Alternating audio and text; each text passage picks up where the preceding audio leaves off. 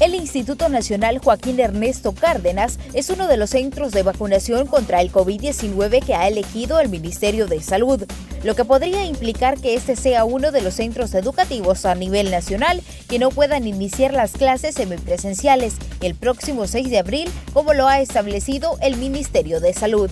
Y creo que por motivos de centro de vacunación creo que no volveríamos, pero vamos a esperar indicaciones ya del Ministerio de Salud y del, y del Ministerio de Educación en cuanto a si nosotros volvemos a clases normalmente. El director del instituto menciona que ante cualquier decisión que pueda tomar el Ministerio de Salud, tanto el Ministerio de Educación, ellos ya tienen establecido un plan con los docentes para el regreso a clases de manera semipresencial.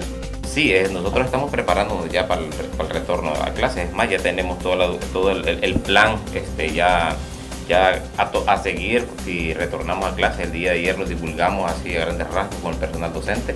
Este, nada más que teníamos que valorar si nosotros volveríamos o no volveríamos por la situación de que vamos a hacer centro de vacunación.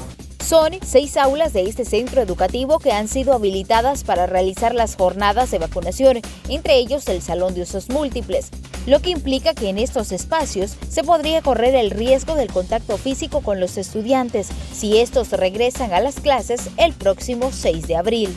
Aulas, eh, el salón de usos múltiples que se ha remodelado para la, para la vacunación y la, y la adecuación de donde se va a tener resguardo la vacuna, el área donde va a ser de, la orientación que se les va a dar a, las personas que van a poner la vacuna, el prechequeo que les hacen, luego la sala de espera y ahí tanques de oxígeno con canapé este, por si a alguien se le, pasa algo eh, anormal con la vacuna y el área de descanso de las enfermeras. También van a, ver, van a ver una ambulancia permanente todo el tiempo acá en la institución por cualquier emergencia. Esa es parte del protocolo que llevan el, programa de la vacunación.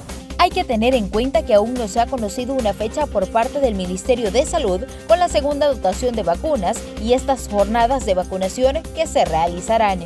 Yo desconozco la fecha que, van, que se van a iniciar, me imagino que está, en cuanto reciban la, vacuna se iniciarían con el proceso de, vacunación.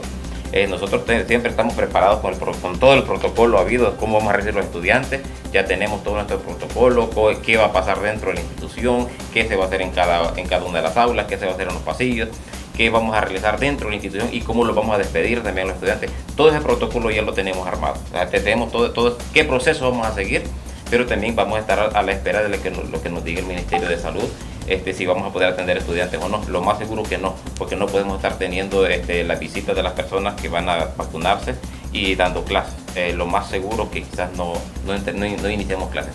Vale la pena recalcar que este instituto cuenta con 1.282 estudiantes, siendo además una de las instituciones que tienen 39 aulas virtuales en tres bachilleratos, como lo son general, contador y secretariado. Sí, nosotros como institución ya estamos al 100% trabajando con la, con, la, con, la aplicación de Classroom.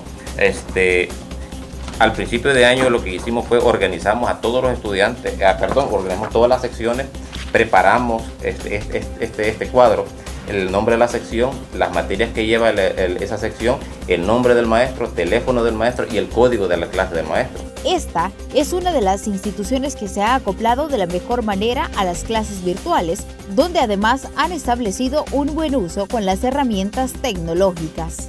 Aquí, aquí seguido les estamos mandando información, aquí es el perfecto director, muchas gracias con ellos estoy en, contacto constante, Son, 39, son 39 estudiantes. Este instituto que ustedes ven a mis espaldas es uno de los que servirán como centros de vacunación en el municipio de San Miguel y precisamente por la posible apertura a las clases semipresenciales en todo el país, ellos también ya están preparados para recibir a los estudiantes. Con imágenes de José Zelaya informó para Noticieros TVM Marcela Hernández.